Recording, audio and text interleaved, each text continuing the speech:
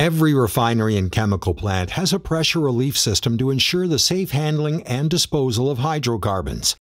In the past, it was not unusual for a high flare gas flame to be the trademark of these operations. But this practice pollutes the environment, wastes potential fuel resources, and is now penalized in some countries. Flare gas recovery systems capture these waste gases, virtually eliminating continuous flare operation. Recovered gases can be used for fuel or other purposes, significantly reducing emissions and energy costs. Additional benefits include longer flare tip life, decreased steam consumption, and rapid return on investment.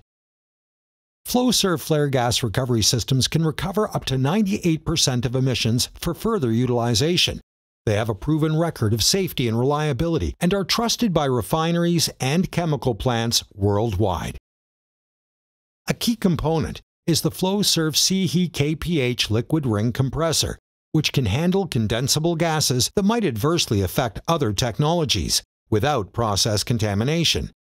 The compressor offers the smallest footprint available for flare gas recovery, with low power and water consumption. Unlike reciprocating or piston-type compressors, there's no metal-to-metal -metal contact in the compression chamber. The only rotating part is the rotor assembly supported between the bearings, enabling less vibration than overhung solutions and making the unit highly reliable.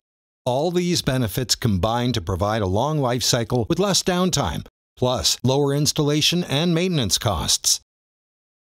The impeller's rotation creates a seal of service liquid, typically water. Centrifugal force forms a moving ring of fluid against the interior wall of the casing.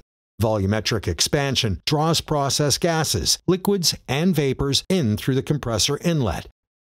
The rotating impeller separates waste gas from the processed material via isothermal compression.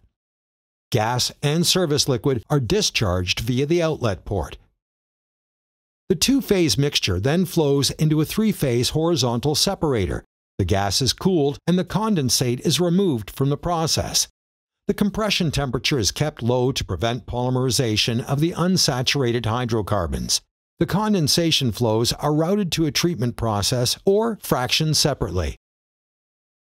Flowserve can provide the entire flare gas recovery system as a complete turnkey solution, enabling you to deal with a single vendor. Contact your Flowserve representative for more information.